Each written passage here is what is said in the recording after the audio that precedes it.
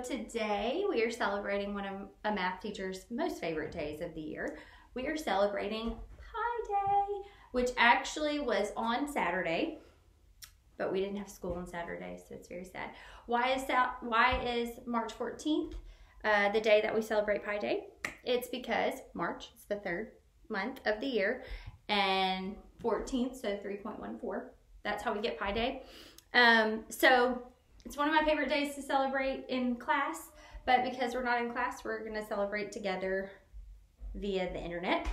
So first of all, let's review what pi is. How did we get pi? Where did this 3.14159 with trillions of other numbers, where did that come from? So let's look at how that number was calculated. Okay, so this is where pi comes from. So the diameter of this circle is about two inches. So I have a pipe cleaner that is measured out at two inches. I actually have four of them. So I, if I take these pipe cleaners and I place it around the side, so this is the diameter of the circle, but I'm going to place it around the sides. So there's one, two, three, so it's three whole ones, and now we have this tiny piece in the middle. That's where that 0.14 with that super long decimal comes from, is that little portion right there. So now that we have reviewed how pi is calculated, let's look at area and circumference of a circle. How can we use pi? What are we using it for? So one thing that we can use it for is to calculate the distance around the circle. This is not the area on the inside. This is just the, the outer surface of the, the circle. Okay, so there are two formulas that we can use in order to calculate um, the cir circumference. The first one is with the radius. And the radius, if you can remember correctly, and Miss Claire's going to show you the radius is from the center point of the circle to the outside. Thank you, Miss Claire. Thank you. Okay. The diameter is the entire length of the inside of the circle. So from one side to the other side. Okay. So if we are using the radius, we're going to use um, the radius of this circle that we um, that I just showed you. So the two, we're going to have a two times, we're going to use 3.14 for pi. We're going to round it. Times the radius, which the radius of this circle was just 1, right? Because the diameter was 2, so this is just going to be 1.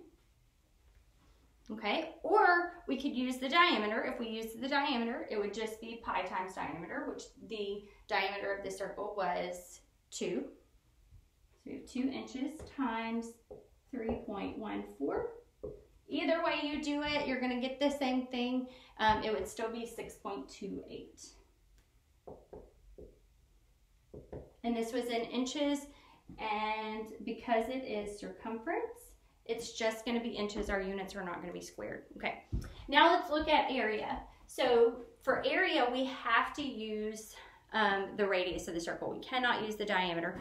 If you have the diameter, you can divide it by 2 in order to find the radius. So let's um, put 3.14 times our radius, which was, we know it was 1. And we're going to square it. So we know that um, 1 squared, 1 times 1 is going to still give you 1 times 3.14. Okay, 3.14 times 1 is still going to give you 3.14. And when we have area, we are going to square our units. So our units were in inches, so we're going to have square inches. Easy peasy, right? Okay, so your assignment is going to be find 10 things around your house. You have a, um, a worksheet in your folder. Um, find 10 things that are circular around your house or have a circular base. Um, it could be a vase, um, it could be a cookie, um, it could be a clock on the wall. It could be anything. Find 10 things around your house. Um, find, um, use the um, ruler that was sent home with you. Find the um, radius and the diameter in inches and calculate the area and circumference for each one. When you have finished this, take a picture and send it to me. Also, if you get a chance to celebrate today by eating pie or pizza, take a picture and send it to me. Um, but make sure you wash your hands 1st Mm-hmm. Yeah. We're going to enjoy some right now. See you later.